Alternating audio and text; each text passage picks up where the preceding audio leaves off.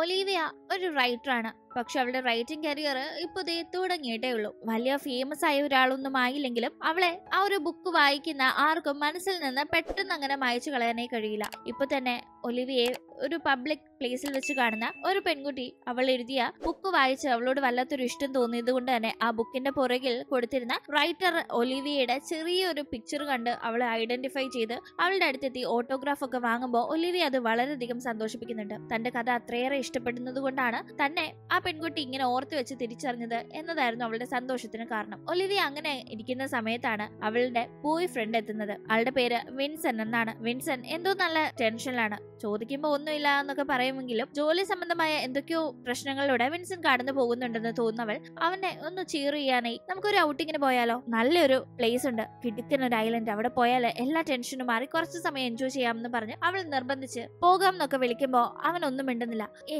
പറ എന്താ നിന്റെ പ്രശ്നം എന്നെല്ലാം അവൾ നിർബന്ധിക്കുമ്പോ നീ തന്നെ എന്റെ പ്രശ്നം. നമുക്ക് ബ്രേക്കപ്പ് ചെയ്യാം. ഇതൊന്നും ശരിയാവില്ല എന്ന് പറയുമ്പോ ഇതെന്താ പെട്ടെന്ന് ഇങ്ങനെ പറയുന്നത് അങ്ങനെ പറയാൻ മാത്രം നമുക്കിടയിൽ എന്താ ഉണ്ടായതെന്ന്? അവൾ ചോദിക്കുന്നുണ്ടെങ്കിലും അവൾക്ക് അത് അക്സെപ്റ്റ് ചെയ്യാൻ കഴിയുന്നില്ല. അങ്ങനെ ബ്രേക്കപ്പ് പെട്ടെന്ന് പറയാൻ മാത്രം അവർക്കിടയിൽ ഒരു പ്രശ്നമില്ലെന്ന് തോന്നില്ല അവൾ ഇങ്ങനെ പറയില്ല എന്നൊക്കെ ആർഗ്യൂ ചെയ്യുന്നുണ്ടെങ്കിലും ബോയ് ഫ്രണ്ട് കേൾക്കാതെ ഒരു രീതിയിലും ഒരു സെക്കൻഡ് പോലും ഇനി അവളുമായി ഒന്നിച്ച് തനിക്ക് ഒരു റിലേഷൻഷിപ്പ് കൊണ്ടാൻ സാധിക്കില്ല എന്ന് തീർത്തു പറഞ്ഞവളെ ബ്രേക്കപ്പ് ചെയ്ത് പോവാണ്. അവളാകട്ടെ ആ ഒരു റിലേഷൻഷിപ്പിൽ ഭയങ്കരമായി ഇൻവോൾവ് ആയിരുന്നു. അതുകൊണ്ട് തന്നെ പെട്ടെന്ന് അവൾക്ക് അതങ്ങോട്ട് അക്സെപ്റ്റ് ചെയ്യാൻ കഴിയുന്നില്ല. ആൾ ഭയങ്കരമായി ഡൗൺ ആവുന്നുണ്ട്. അതുകൊണ്ട് തന്നെ തുടർന്ന് അങ്ങോട്ട് ഒരു നോവൽ പോയിട്ട് ഒരു വരി പോലും എഴുതാൻ പറ്റാതെ അവൾ ഭയങ്കര ഡിപ്രസ്ഡ് ആയിരുന്നു. പക്ഷെ ഇങ്ങനെ പോയാലും ശരിയാവില്ല. എന്തെങ്കിലും എഴുതണം പബ്ലിഷ് ചെയ്തേ പറ്റൂ എന്നൊക്കെ പറഞ്ഞ് അവളെ റൈറ്റിംഗ് ഏൽപ്പിച്ചിരുന്ന കമ്പനിയിൽ നിന്ന് കോണ്ടാക്ട് ചെയ്ത് പറയുന്നു. അവളാകട്ടെ ഇപ്പൊ എഴുതാൻ വേണം പക്ഷെ എഴുതാനും കഴിയുന്നില്ല എന്ന ആകെ പ്രതിസന്ധിയിൽ ഇരിക്കുന്നു ഇവിടെ കാര്യങ്ങൾ ഇങ്ങനെ നടക്കുമ്പോഴേക്കും നമ്മൾ കാണുന്നത് പ്രിൻസ് അലക്സാണ്ടറിനെയാണ്. ആളാണ് കേട്ടോ നമ്മുടെ കഥാനായകൻ. പുള്ളിക്കാരൻ പേര് കണക്ക് തന്നെ ഒരു വലിയ കൊട്ടാരത്തിലെ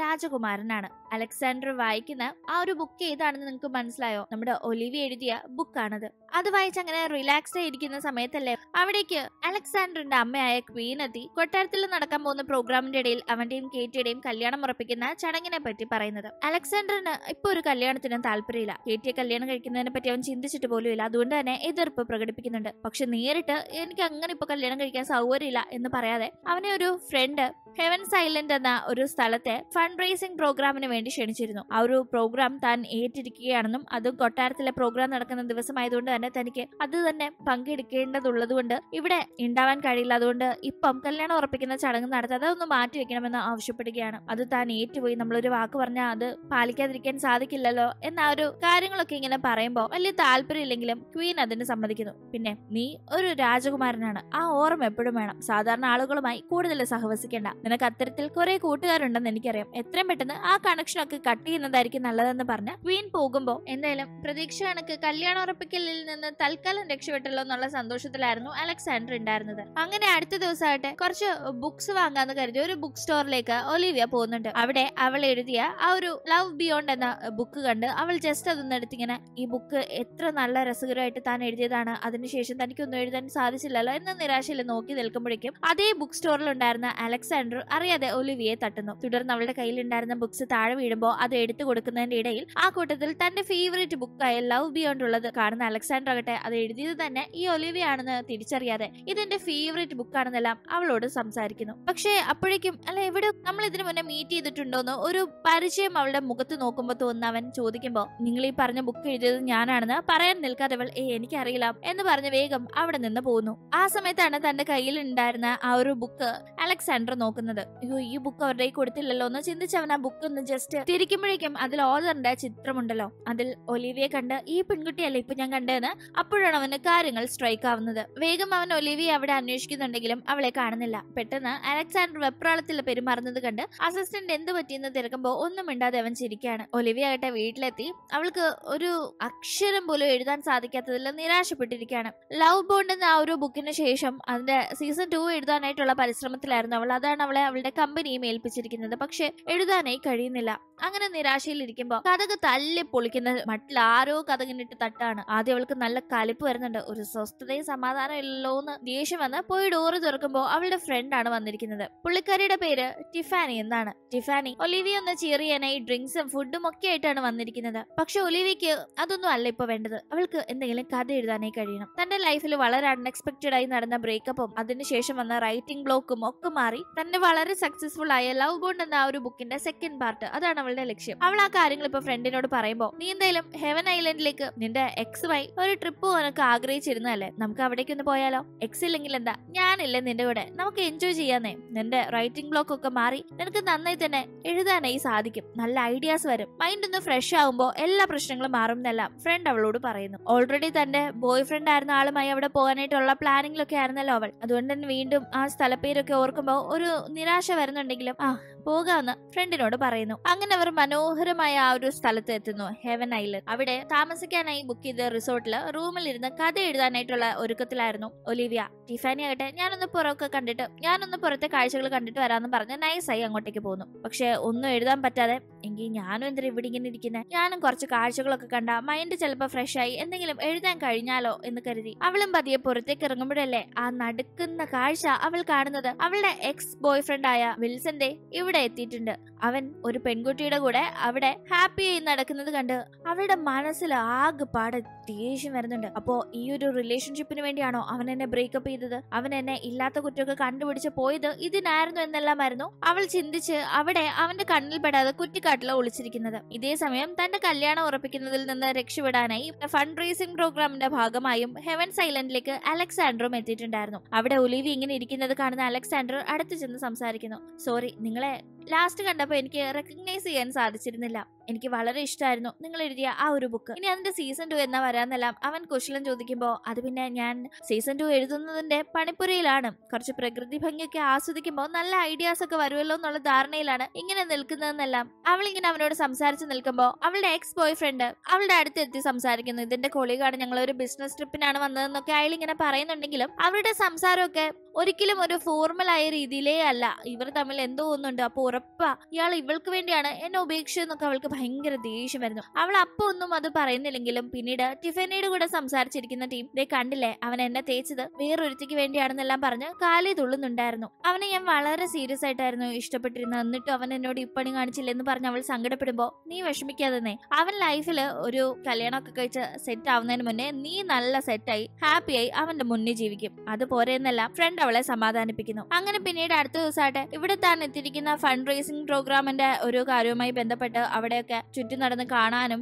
എക്സ്പ്ലോർ ചെയ്യാനും ഒക്കെയായി. ഒലിവിയെ അലക്സാണ്ടർ ക്ഷണിക്കാണ് ഒലിവിയും അവളുടെ ഫ്രണ്ടും ഇവിടെ റിലാക്സ് ആവാനും എൻജോയ് ചെയ്യാനും ഒക്കെ കുറച്ച് ദിവസത്തേക്ക് വന്നിരിക്കുകയാണല്ലോ. അപ്പൊ അവർക്കും ഇത് യൂസ്ഫുൾ ആകുമെന്ന് കരുതിയാണ് അലക്സാണ്ടർ ക്ഷണിക്കുന്നത്. ഒലിവിക്ക് വലിയ താല്പര്യം ഇല്ലായിരുന്നെങ്കിലും അവളുടെ കൂടെയുള്ള ഫ്രണ്ട് ടിഫാനിക്ക് അതിനോടൊക്കെ ഇൻട്രസ്റ്റ് ഉണ്ട്. പ്രത്യേകിച്ച് അലക്സാണ്ടറെ കണ്ടപ്പോ എന്ത് ഹാൻസം ആണ്. പുള്ളിയുടെ കൂടെ കുറച്ച് ടൈം സ്പെൻഡ് ചെയ്യാനാണെങ്കിൽ എന്തുകൊണ്ട് പൊക്കൂടാ എന്ന രീതിയിൽ വേഗം തന്നെ ടിഫാനി പിന്നെ ഞങ്ങൾ വരാമല്ലോ എന്ന് ഓക്കെ പറയുന്നു. അങ്ങനെ ഒലിവിയം പോവാനായി സമ്മതിച്ചല്ലോ. ഇവിടെ നടക്കുന്ന ഈ കാര്യങ്ങളൊക്കെ തന്നെ അലക്സാണ്ടറിനെ സ്പൈ ചെയ്ത് വന്നിട്ടുണ്ടായിരുന്ന ക്വീനിന്റെ ഒരു സ്റ്റാഫും കാണുന്നുണ്ട്. ഇവിടെ നടക്കുന്ന ഓരോ കാര്യങ്ങളും അപ്പോ അപ്പോ പുള്ളിക്കാരൻ ക്വീനിനെ ഇൻഫോം ചെയ്യുന്നു. അങ്ങനെ മുന്നേ അലക്സാണ്ടർ ക്ഷണിച്ചതിന്റെ ഭാഗമായി ടിഫാനിയും ഒലിവിയും ഒക്കെ ആ ഒരു ഐലൻഡ് എക്സ്പ്ലോർ ചെയ്യാനായി അലക്സാണ്ടറിന്റെ കൂടെ പോകുന്നുണ്ട്. അവിടെ വെച്ച് രണ്ടുപേരും കുറെ സംസാരിക്കുകയും ഒന്നിച്ച് തമാശകൾ പറഞ്ഞും ഗെയിം കളിച്ചും ഒക്കെ ടൈം സ്പെൻഡ് ചെയ്യുകയും ചെയ്യുന്നു. കുറെ നാളുകൾക്ക് ശേഷം അന്നാണ് ഒലിവിയ മനസ്സറിഞ്ഞൊന്ന് ചിരിക്കുന്നത് എന്ന് തന്നെ പറയാം. അവരങ്ങനെ അതിനൊക്കെ ശേഷം നടന്നു വരുന്ന സമയത്ത് അവിടെ വോളിബോൾ കളിക്കുന്ന എക്സിനെയും പുള്ളിക്കാരന്റെ ഗേൾ ഫ്രണ്ടിനെയും കാണുന്നു. തന്റെ ബോയ് ഫ്രണ്ട് എന്നെ പരിചയമുള്ള ആരോ ആണ് ഒലിവിയ എന്ന് തോന്നുന്ന ആ ഗേൾ ഫ്രണ്ട് ആവട്ടെ ഒലിവിയെ ഗെയിം കളിക്കാനായി വിളിക്കുമ്പോൾ അവൾ എന്തെങ്കിലും മറുപടി പറയും മുന്നേ ഓ പുള്ളിക്കാരിക്ക് ഈ സ്പോർട്സിലൊന്നും വലിയ പിടുത്തൊന്നുമില്ല വിളിച്ചിട്ട് കാര്യമില്ലെന്നെല്ലാം എക്സ് ബോയ് ഫ്രണ്ട് പറയുന്നുണ്ടായിരുന്നു. അത് കേട്ട് ഒലിവയുടെ മുഖം വാടുന്നത് കാണുന്ന അലക്സാണ്ടർ അവളെ നിർബന്ധിച്ച് ഗെയിമിൽ ഇറക്കുകയും അവളുടെ കൂടെ ടീമായി അവൻ എക്സ് ബോയ് ഫ്രണ്ടിനും ആ പെൺകുട്ടിക്കും എതിരെ ഗെയിം കളിച്ച് അവരെ തോൽപ്പിച്ച് അവളെ വിജയിപ്പിച്ച് സന്തോഷിപ്പിക്കുകയും ചെയ്യുന്നുണ്ട്. അവരുടെ മുന്നിൽ തോക്കുന്ന എക്സ് ബോയ് ഫ്രണ്ട് ആകട്ടെ ഒരുമാതിരി നാണം കെട്ട ഭാവത്തിൽ പെട്ടെന്ന് അവിടെ നിന്ന് ദേഷ്യത്തിൽ പോകുന്നു. ഇതും ഒലിവിയെ ഒരുപാട് സന്തോഷിപ്പിച്ചിട്ടുണ്ടല്ലോ. അവൾ അലക്സാണ്ടറിനോട് ഒരുപാട് നന്ദി പറയുന്നു. മുന്നേ അവൻ സംസാരിക്കാനായി വരുമ്പോൾ ഒഴിഞ്ഞു മാറാറുണ്ടായിരുന്ന അവളിപ്പോ വളരെ കാര്യമായി അവന്റെ അടുത്ത് അങ്ങോട്ട് പോയി സംസാരിക്കുകയാണ്. ആക്ച്വലി അവനോട് സംസാരിക്കാൻ തുടങ്ങിയതിന് ശേഷമാണ് അവൾക്ക് ആ ഒരു റൈറ്റിംഗ് ബ്ലോക്ക് മാറുന്ന കണക്ക് ഉള്ളതെന്നും അങ്ങനെ പതിയെ പതിയെ സ്ട്രേഞ്ചേഴ്സ് ആയിരുന്നു അവർ പരിചയക്കാരെ മാറുന്നു ഒരു ഫ്രണ്ട്ഷിപ്പ് അവർക്കിടയിൽ ഉടലെടുക്കുന്നു അത് പിന്നീട് അവർ പരസ്പരം തുറന്നു പറയാത്ത ഒരു ഇഷ്ടമായി അവരുടെ മനസ്സിൽ നിൽക്കുന്നു. ഈ കാര്യങ്ങളൊക്കെ തന്നെ അലക്സാണ്ടറിനെ സ്പൈ ചെയ്യുന്ന ക്വീനിന്റെ ആ ഒരു സ്റ്റാഫും അറിയുന്നുണ്ട് പുള്ളിക്കാരൻ ഇതെല്ലാം തന്നെ ക്വീനിനെ അറിയിക്കുമ്പോൾ കല്യാണം ഉറപ്പിക്കാൻ താൻ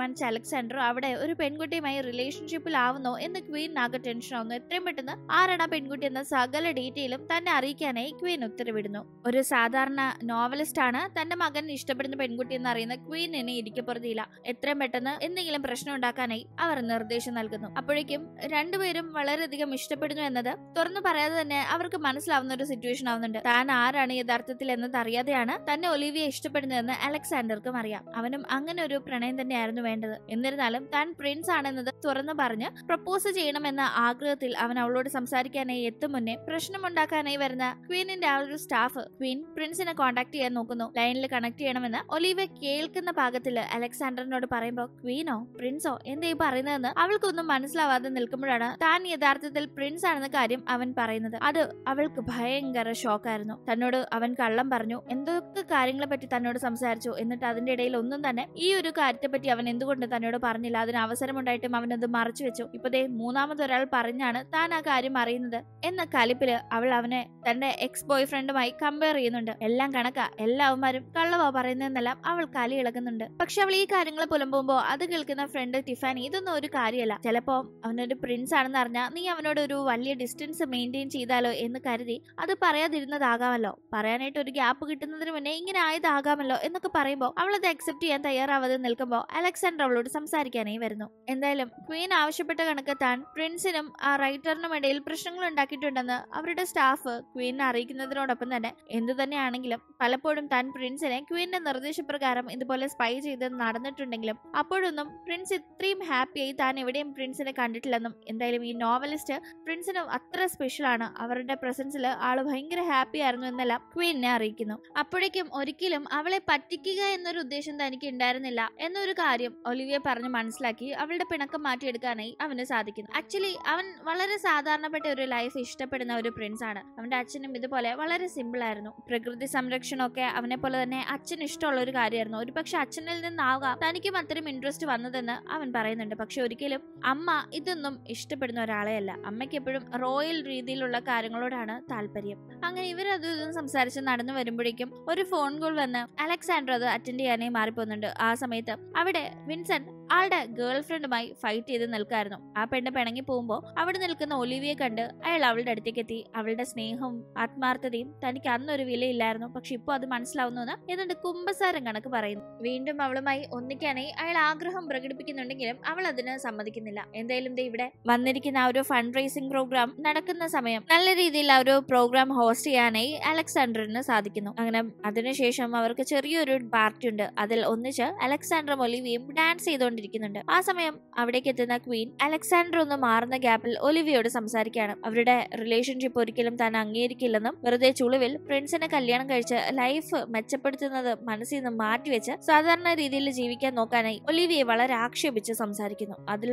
അതിൽ വളരെ വിഷമം തോന്നുന്നവൾ ഒന്നും മിണ്ടാതെ അവിടെ നിന്ന് ഇറങ്ങി പോവാണ് അവൾ അവിടം വിട്ട് പോയ ശേഷമാണ് അലക്സാണ്ടർ അത് അറിയുന്നത് പോലും. അതുവരെ അവൻ ആ പ്രോഗ്രാമിന്റെ കാര്യത്തിൽ ബിസിയായിരുന്നു അതറിഞ്ഞ് വല്ലാതെ സങ്കടം വരുന്ന അവൻ തന്റെ അമ്മ തന്നെയാണ് ഒലിവിയ ഇങ്ങനെ പിണങ്ങി പോകാനായി കാരണം എന്ന് മനസ്സിലാക്കിയിട്ട് അമ്മയോട് ദേഷ്യപ്പെടുന്നു. എന്തിനാ അമ്മ ഇങ്ങനെ ചെയ്യുന്നത്? എന്ന് അവൻ ചോദിക്കുമ്പോൾ തന്റെ മനസ്സിൽ ഏറ്റവും കൂടുതൽ സന്തോഷവും സമാധാനവും താൻ അനുഭവിച്ചത് ഒലിവിയ കൂടെ ഉണ്ടായിരുന്ന സമയത്തായിരുന്നു എന്നുകൂടി അവൻ കൂട്ടി പറയുന്നുണ്ട്. പക്ഷെ അവൾ സാധാരണ ഒരു പെൺകുട്ടിയാണ്. അവളുമായിട്ടുള്ള റിലേഷൻഷിപ്പ് ശരിയാവില്ല എന്ന് അമ്മ ഓർമ്മിപ്പിക്കുമ്പോൾ അവൻ അമ്മയെ കാര്യങ്ങൾ പറഞ്ഞ് മനസ്സിലാക്കുന്നുണ്ട്. മറ്റുള്ളവരെ ബോധ്യപ്പെടുത്താനായി അല്ല നമ്മുടെ ഈ ഒരു ലൈഫ് നമുക്ക് സമാധാനവും സന്തോഷവും തരുന്ന രീതിയിൽ ജീവിച്ചു തീർക്കാനായിട്ടാണ് നമ്മൾ ശ്രമിക്കേണ്ടതെന്ന് അവൻ പറയുമ്പോൾ അത് ശരിയാണെന്ന് അമ്മയ്ക്ക് പിന്നീട് അംഗീകരിക്കേണ്ടി വരുന്നു. കാരണം അമ്മയും അമ്മയുടെ ഹസ്ബൻഡും തമ്മിൽ ചേർച്ചയില്ലാതെ സെപ്പറേറ്റ് ആയവരാണ്. പക്ഷെ അതിനുശേഷം അമ്മയ്ക്ക് അമ്മയുടെ സ്റ്റാഫായ അമ്മ അലക്സാണ്ടറിനെ സ്പൈ വർക്ക് ചെയ്യാനായി വിടുന്ന അമ്മയുടെ വിശ്വസ്തനായ ആ ഒരു ആളിനോട് വളരെയധികം ഒരു അടുപ്പം തോന്നിയിട്ടുണ്ടായിരുന്നെങ്കിലും സമൂഹം എന്ത് വിചാരിക്കുമെന്ന കാര്യം കൊണ്ട് അമ്മ അത് രഹസ്യമായി കൊണ്ടു നടക്കുകയായിരുന്നു. അത്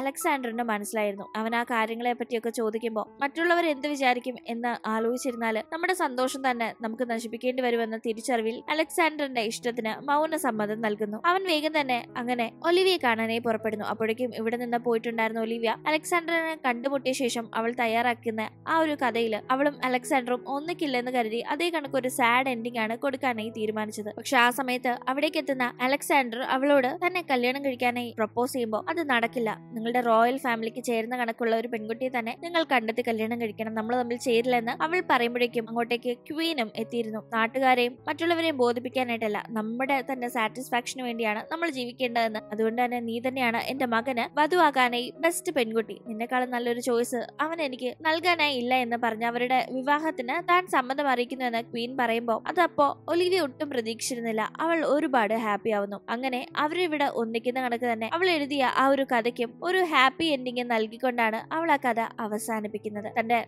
റോയൽ ലൈഫിന് അപ്പുറം താൻ ഇഷ്ടപ്പെടുന്ന ആ ഒരു ജീവിതം തേടി നടന്ന അലക്സാണ്ടർക്ക് അവന്റെ മനസ്സിനെ ഇഷ്ടപ്പെട്ട കണക്ക് സാധാരണക്കാരിയായ ഒരു പെൺകുട്ടിയെ തന്നെ കിട്ടിയിരിക്കുന്നു. അതേപോലെ തന്നെ വളരെ ആത്മാർത്ഥമായി ആ സ്നേഹം അർഹിച്ചിട്ടില്ലാത്ത ഒരാളെ സ്നേഹിച്ച് വിഷമിക്കേണ്ടി വന്ന ഒലിവിയയ്ക്കും അവളുടെ സ്നേഹത്തിന് വാല്യൂ നൽകുന്ന ഒരാളെ തന്നെ ലൈഫ് പാർട്ട്ണറായി കിട്ടിയിരിക്കുന്നു. അങ്ങനെ ഈ ഒരു ഹാപ്പി എൻഡിങ്ങോട് കൂടി ഈ ഒരു കഥ ഇവിടെ അവസാനിക്കുമ്പോൾ വീഡിയോ ഇഷ്ടപ്പെട്ട് കാണുമെന്ന് പ്രതീക്ഷിക്കുന്നു. ഇഷ്ടപ്പെട്ടാൽ മറക്കാതെ വീഡിയോ ലൈക്ക് ചെയ്തും ഷെയർ ചെയ്തും സബ്സ്ക്രൈബ് ചെയ്തും സപ്പോർട്ട് ചെയ്യുക. വീണ്ടും കാണും വരെ. ബൈ